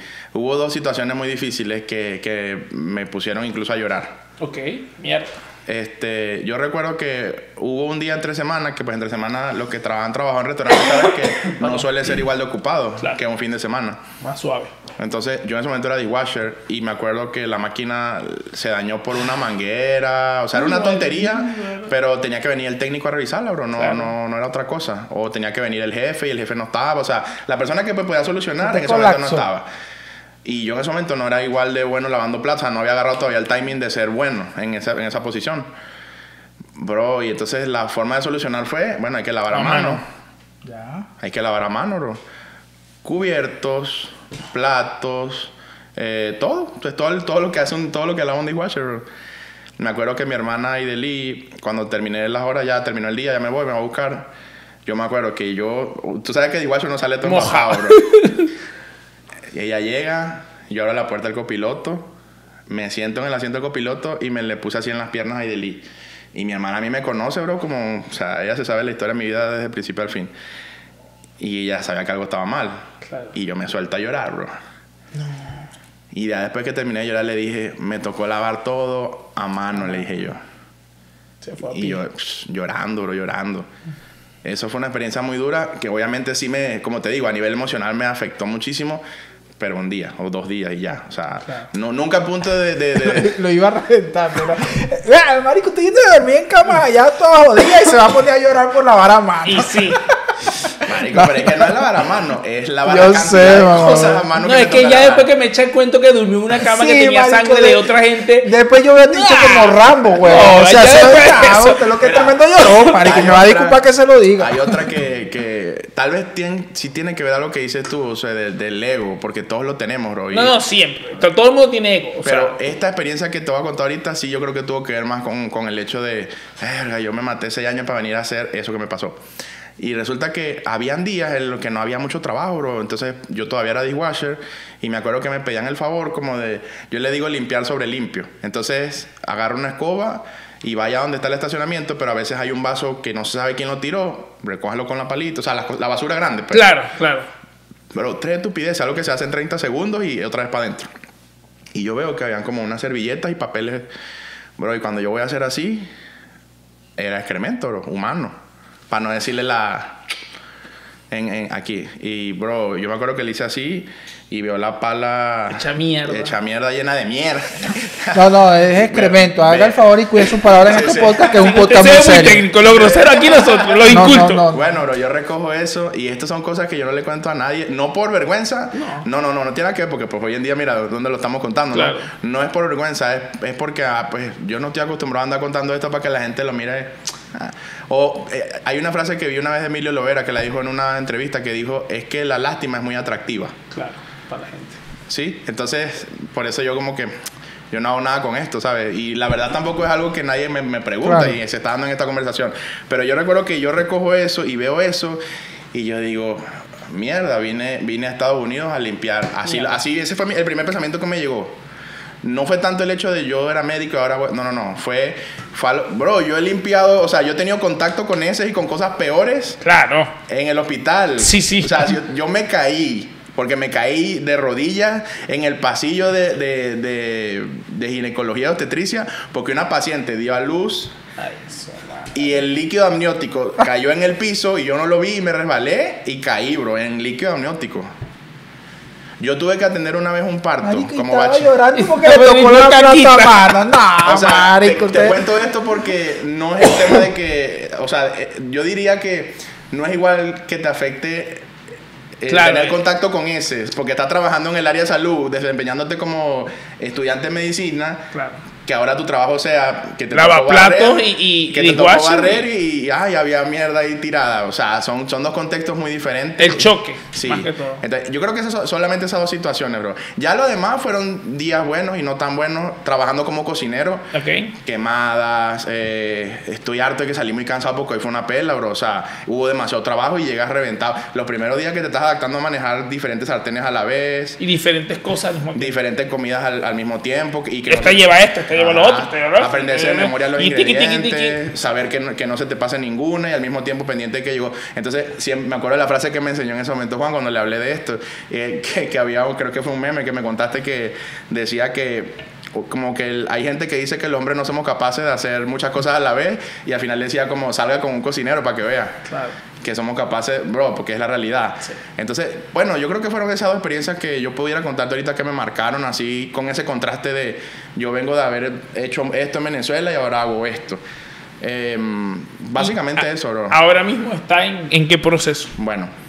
Eh, Sí se puede saber. Sí, claro. Este, que yo, yo les pudiera decir... que- Proceso de deportación. Ahora en qué proceso está? En proceso de deportación. Malparió Juan Pablo no sirve, ¿verdad? No, Bueno, marico, días después de eso llegó la migra al restaurante y. Ay, coño, la Mira. Dios, Dios es- yo creo que yo he tenido demasiados ángeles en mi camino. Yo he, tenido, yo he tenido la fortuna de estar rodeado de personas maravillosas en mi vida y que me han hecho mi vida funcionar de una mejor manera desde que estoy en Estados Unidos. Entonces, yo me hacía muchas veces esa pregunta, José, de, de como, ajá, ¿y qué voy a hacer con mi título aquí? ¿Cuál va a ser el paso a seguir? ¿Qué, ¿Cuál va a ser el paso a seguir? ¿Cómo lo mueves? Eso sonó raro, bro. ¿Cómo, cómo, cómo me voy a esta situación? O sea, ¿qué hago yo con esto? Y entonces, de estar trabajando en el restaurante, llegó un momento en mi vida en que yo dije, todos los días de mi vida, bro, cuando yo iba para el trabajo y lo sigo haciendo, yo me pongo a orar mientras voy manejando. Yo, yo soy muy creyente en Dios, entonces yo le pido por lo que necesito pedirle. Y yo le decía, Diosito, ¿cuál va a ser el siguiente paso para yo lograr entrar a ese- al mundo de la salud aquí en Estados Unidos? Dame, dame la ilum- o sea, a- ilumíname el camino, Claro. o sea, dame la visión, dame el siguiente paso, ayúdame, porque mu- mucho tiempo no lo tenía claro, honestamente. O sea, claro, yo como estudiante y rodeándome de gente que sé que cómo hace el proceso para revalidar su título aquí, sé, obviamente me empapé de esa información, qué se necesita, qué Lo que cuesta tomar, también. lo que cuesta, el esfuerzo, el tiempo, testimonio de gente que lo ha logrado, escuchar podcasts eh, que hablan de, de esto y que digan, ok, sigue este paso, hazlo así, hazlo aquí. Claro. Me llené de esa información y, y empecé como, ajá, que viene, que viene, que viene, que viene. Y yo decía, no me quiero quedar con la duda. Ok. ¿Qué hubiese pasado si?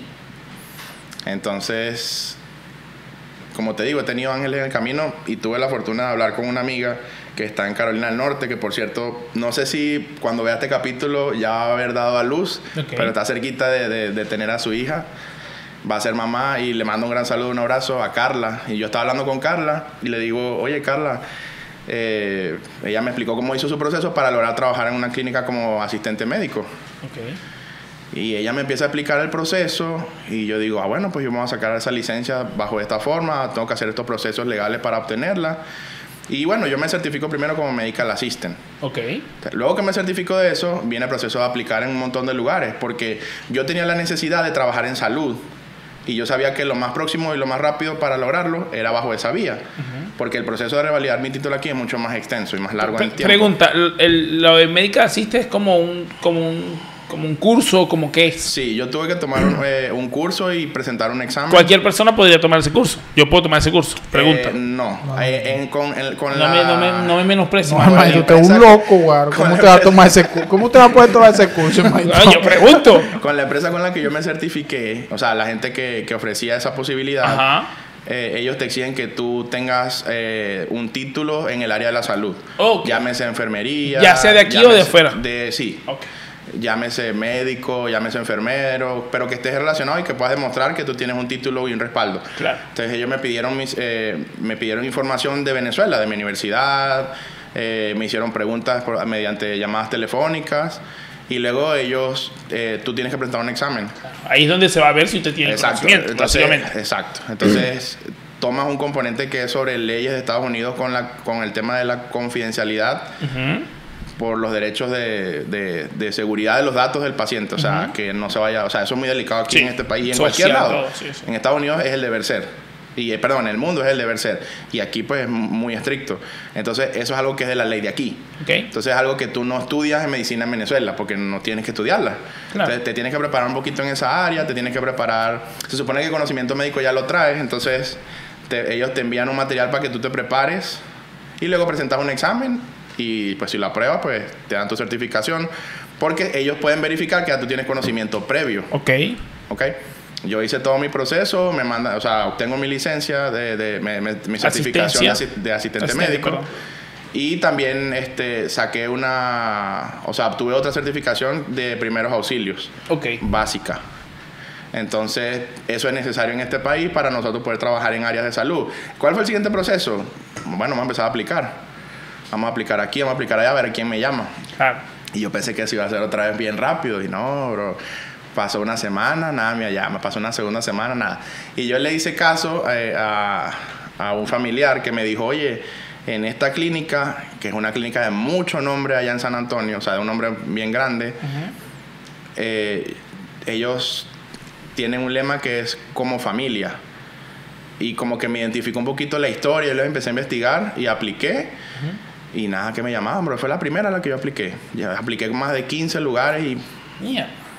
nada, bro. Nadie, nadie me llamaba hasta que un día yo estaba en el restaurante trabajando y me llega una llamada y yo no suelo contestar números desconocidos. Entonces me dejaron un mensaje de voz y yo pude escuchar como, oye, te estamos llamando de esta clínica, eh, estamos interesados en tu currículo, bla, bla, bla, vamos a gestionar una cita para tener una entrevista. Yo me acuerdo que yo miro a mi novia y, bro, o sea, las ganas de llorar como cuando dices soy leyenda que tú dices, Lo logré. esta parte mía se llama felicidad. Yo me acuerdo que ahí yo estaba barriendo y limpiando unas cositas ahí de, de la cocina y me acaban de llamar para mi primera entrevista de trabajo en una clínica en Estados hablamos. Unidos. Yo me acuerdo que lo hablamos. O sea, eso en mi cabeza sonó como tan, wow, Brutal. ese es mi proceso, bro. Te digo esto porque hay mucha gente que puede decir, tú tienes que revalidar tu título y ser médico. Claro. ¿Entiendes? O sea, como puede llegar otra persona que me diga otra cosa y estemos de acuerdo o no. Por eso te digo, esto es un camino demasiado personal. Para mí... Y que hay varias formas de llegar. Exacto. Entonces, para mí, en ese momento, eso es lo que me funcionó y me dio mucha alegría, mucha felicidad. Ahora, bueno, hay, ahora hay que prepararte para la entrevista. ¿Cómo es una entrevista de trabajo para un puesto de medical assistant en Estados Unidos? ¿Qué clase de preguntas te puede hacer un manager? ¿En inglés o en español? En inglés, todo en inglés. Todo en inglés. ¿Qué clase de preguntas te pueden hacer un manager? ¿Qué tienes que contestar? ¿O qué es lo que esperan? Ahí cuando yo me entero que resulta que aquí en Estados Unidos, para esa clase de trabajos, la gente se prepara para tomar esas entrevistas. Ok. Y yo decía, ajá, ¿y yo? Y mira lo que hace Dios. Cuando yo llego a la entrevista de trabajo, yo cuento mi historia, de dónde vengo, respondo las preguntas que me hacen y me dicen, mira, si nosotros estamos trabajo, o sea, les voy a resumir, si nosotros estamos trabajo como medical assistant, que tenemos la posibilidad, yo creo que tú te vas a aburrir mucho, porque eso es muy poquito Para- para, alguien que viene grabado de médico. Claro. Y yo, ajá. Entonces al final me, me ofrecen una posición que yo ni sabía que existía Ok. en el departamento de eh, Managed Care. Ok. Y entonces yo, ok, ¿de qué se trata? Me empiezan a explicar de qué se trata y yo digo, ah, bueno, aquí yo puedo, re- o sea, puedo meter mucho el tema de conocimiento médico. No sé si ustedes saben algo que se llama eh, el departamento de referencias. El departamento de referencias es que en este país tú sabes que no es como el nuestro que tú si tú quieres ir a un especialista lo contactas y haces una cita directamente, no. Tiene que ser el sistema americano. El, el jefe de El médico primario, primario tiene que hacer la autorización si él está de acuerdo en que tienes criterios para que te atienda un especialista Claro. o no. lo refiere. Entonces, esa referencia pasa como a, a- a un análisis a ver si realmente es válida esa referencia o no. Y luego, si la aprueban, entonces ahí es cuando tú puedes hacer una cita con el especialista. Ok. Y me dicen que tienen una vacante en esa posición y que mi trabajo básicamente va a consistir en que yo tengo que Analizar los perfiles. analizar los perfiles, armar, armar historias clínicas, eh, analizar. Y entonces yo decía, ok, esta clínica se dedica más a personas de la tercera edad, o sea que básicamente van a ser enfermedades que pertenecen al área de medicina interna. Medicina interna, bro, es larguísima. Hay que estudiar como un animal, bro. Como- Tú no te imaginas lo que hay que estudiar en esa, en esa área de la carrera. Ok. Y yo tuve profesoras maravillosas, o sea, eminencias en esa área. Y me gustó mucho, pero eso no era lo mío. Pero ok, vamos a lo mismo. Véngase, meta, ya, ya, ya lavó plato viejo y agarre. Oye, ¿qué más va a hacer? Ay, no, no, yo quiero pediatría. No, no, Eh. usted avance, avance, dele. Vámonos. Ya está en su área. Ajá, entonces te interesa, si te interesa ese puesto, pues te van a contactar dos personas. Si yo no es realmente. No es lo Sí, mío, no, ¿te imaginas? yo, yo quiero seguir lavando platos. Sí, sí. Si te interesa esta posición, ¿qué, ¿qué piensas de eso? Y yo le digo, no, yo estoy dispuesto, claro. O sea, me gustaría entender un poquito mejor a qué se dedican, pero claro, yo estoy interesado. Entonces, este, ella me dijo, bueno, si estás interesado, te van a llamar en los, en los próximos días dos personas para gestionar una cita porque no va a ser en esta clínica. ¿Esta clínica qué te parece? Entonces, me- me- vamos a hacer una cosa, vamos a darte un recorrido, un tour por la clínica. Bro, cuando me dieron el, el- el recorrido por la clínica, yo decía, nah, bro. Este voy a dicho- dormir en cama con sangre, man. Y tiene aire Yo no me voy a caer con líquido amniótico, bro. Bro, o sea, todo como, como en los programas de, de, de- de la televisión donde hablan de salud. O sea, todo limpiecito, todos los juguetes para trabajar, bro. Todos los recursos para trabajar. Aquí, aquí, aquí, aquí, come- aquí la gente no tiene que traer la gasa y el alcohol. No, bro, aquí no hay, aquí no hay corrupción por en insumo. Venezuela. Bro, todo, todo espectacular, todos los juguetes. O sea, cuando digo todos los juguetes, toda la tecnología para hacer los exámenes más arrechos, los mejores equipos para atender a los pacientes. Vi el área donde hacen terapia física para, para los pacientes que necesitan. Bro, un gimnasio. O sea, todo es espectacular, bro. Entonces, nada.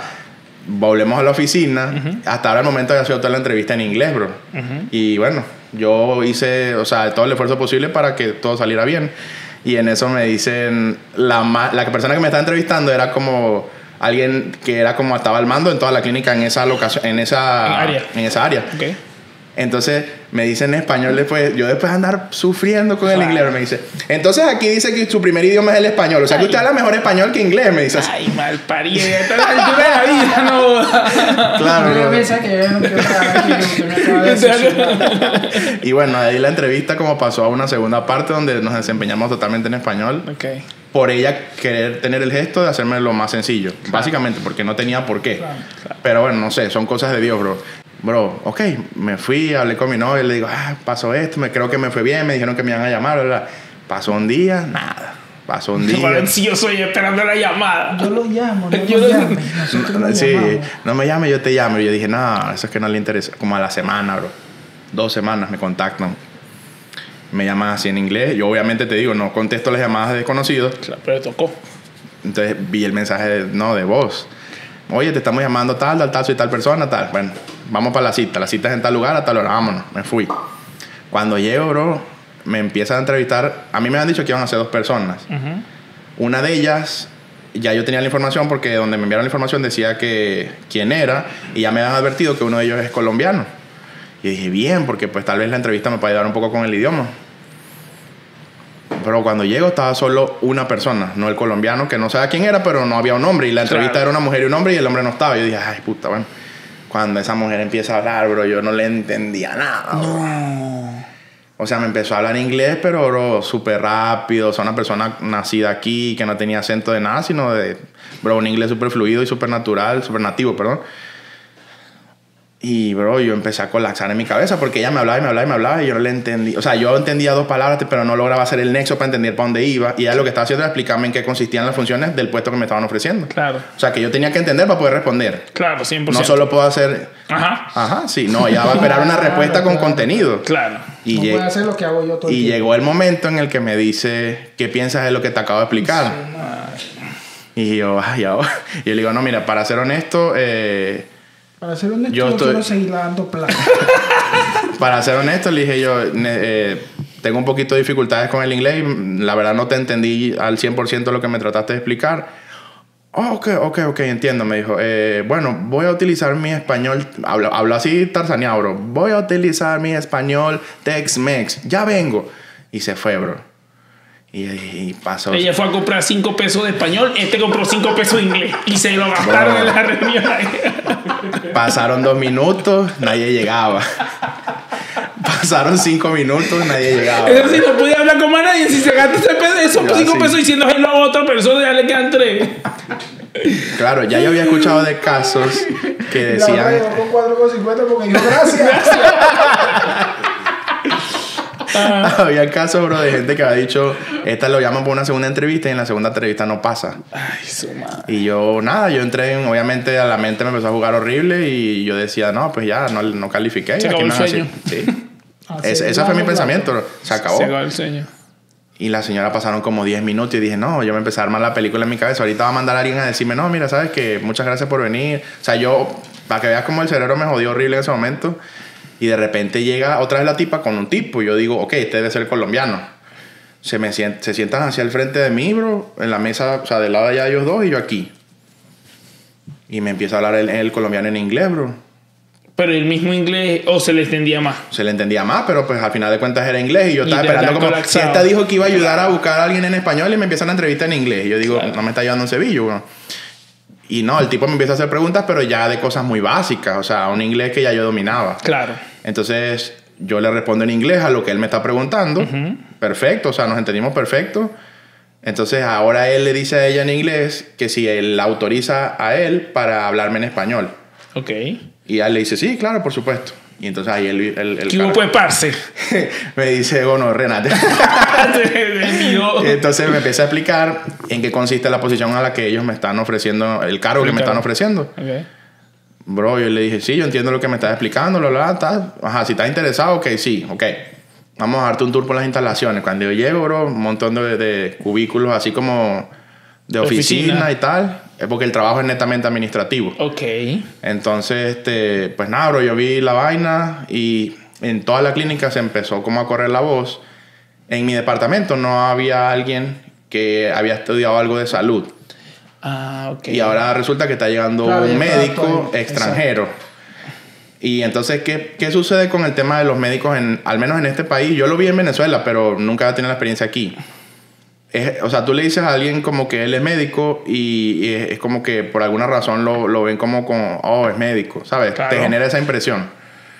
Y ahí pues me lo demostraron, bro. O sea, no, mira, él es aliterán, es doctor, lo vamos a integrar al grupo de, de- departamento tal. Y la gente se me quedaba con mucho gusto y, wow, llegó un doctor al grupo, wow, llegó un doctor, al... bro, y resulta que todo el mundo se enteró, no, llegó un doc- Y ya había una médico venezolana trabajando en la misma, en la misma área, Ajá. pero trabaja en otro departamento. Ok. Entonces, a mí me da mucha alegría, pero dije, bueno, por lo menos hay una médico y es de mi país. Y bueno, a ver qué se dedica a ella, qué, qué tan diferente es a lo que me dedico yo, pero como quiera, tal vez me puede explicar, me puede ayudar a, a cosas que yo no sepa. Y tuve la bendición de que también una persona que se ofreció a ayudarme, ofreció su ayuda, eh, o sea, que te explico, lo que necesites, contáctame, bla, bla, bla. Cuando llego a mi departamento con la esperanza, yo, bueno, tal vez hayan personas que hablan en español, Ay, bro, como Nadie. tres, y no trabajan, no están como directamente cerca conmigo, así que yo diga, explícame esto. No, bro, todo el mundo puro inglés, bro. Inglés, inglés, inglés. Y ahí yo empecé como a decir, ajá, ¿cómo vamos a hacer? ¿Cómo vamos a hacer? ¿Cómo vamos a hacer? Y nada, bro, pues Ajá, y- pero todas estas ya te dieron el trabajo.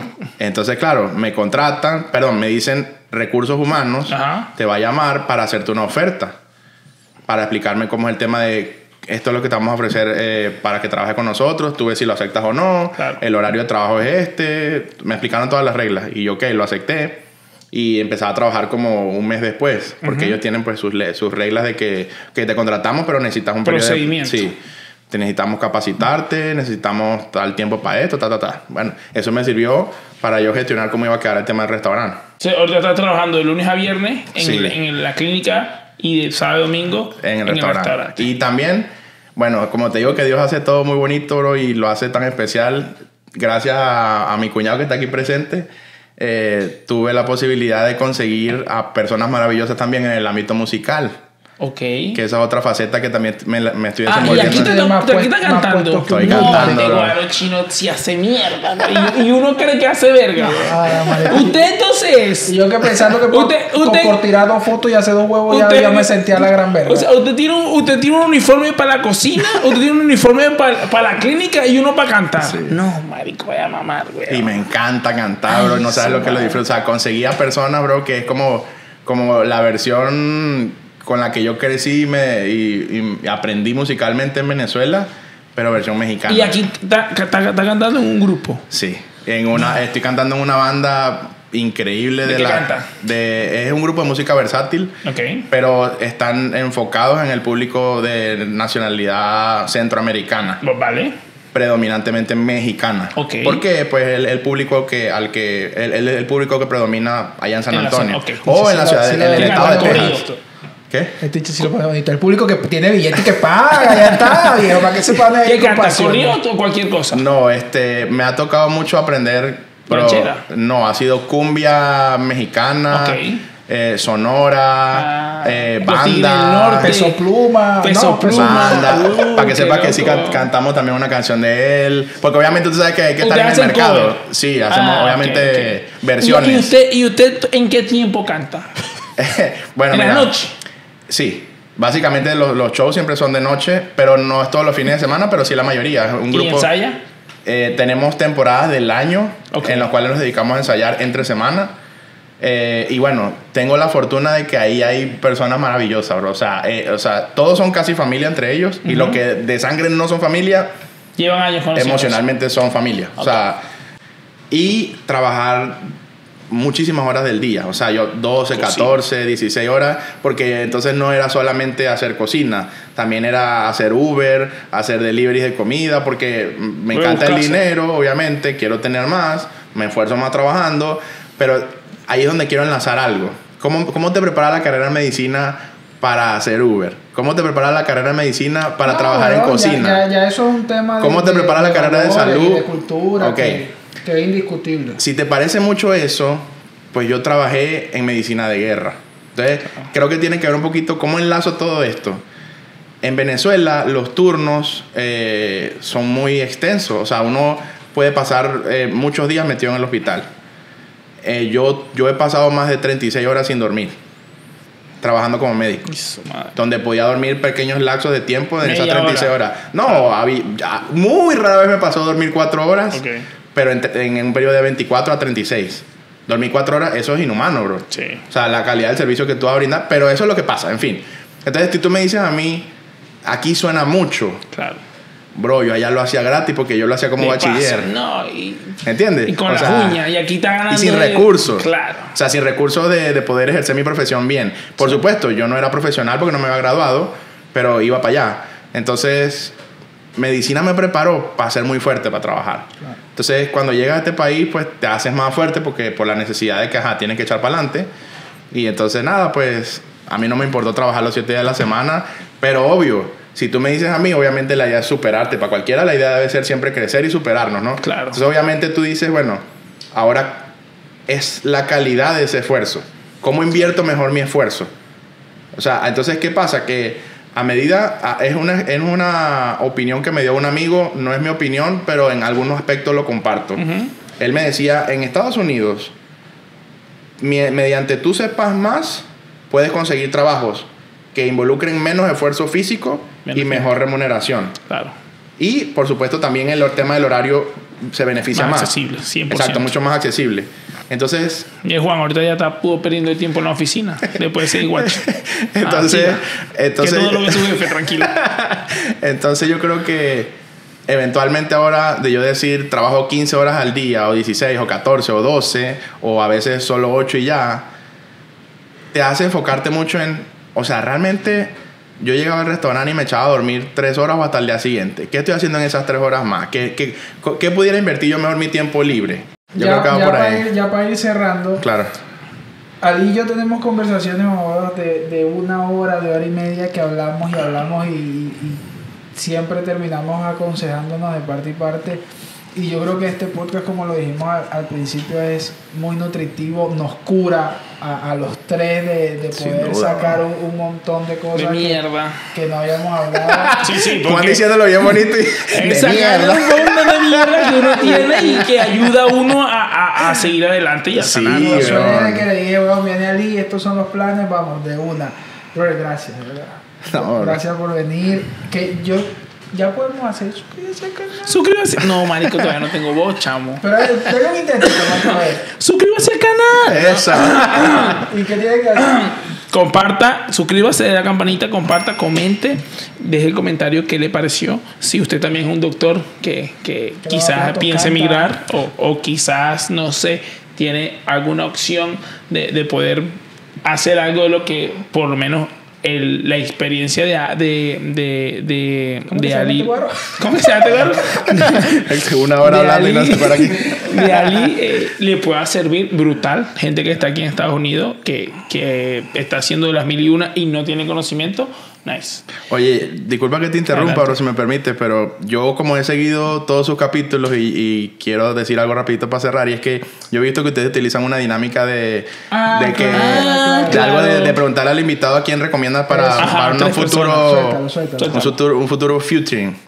Mira, a mí me parece que las personas que uno pudiera decir aquí para invitar son personas que uno creen que pueden aportar algo muy grande y que Ajá. pueden dar experiencias valiosas. Y yo le tengo de propuestas, al menos unas dos o tres personas, a ver si aceptan. Ok. Ok.